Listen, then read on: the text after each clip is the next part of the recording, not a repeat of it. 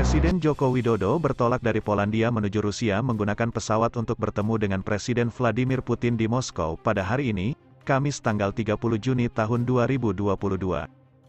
Biro Pers Sekretariat Presiden melaporkan bahwa Jokowi langsung menuju Bandara Internasional Zezo Jasionka setibanya di Polandia setelah kunjungannya ke Ukraina kemarin.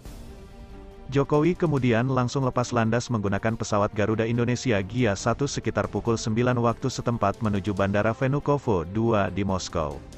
Setibanya di Moskow, Jokowi akan langsung bertemu dengan Putin. Pertemuan itu akan digelar pada siang hari waktu setempat.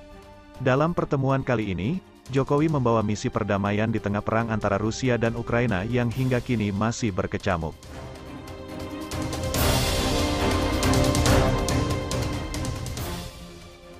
Jokowi memang sedang safari diplomasi untuk misi perdamaian pada pekan ini.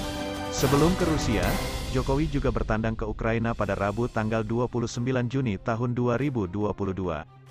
Dalam lawatan itu, Jokowi bertemu dengan Presiden Volodymyr Zelensky.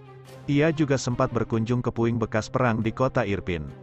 Para pengamat menganggap melalui rangkaian lawatan ini, Jokowi juga ingin menyelamatkan konferensi tingkat tinggi G20 di Bali pada November mendatang.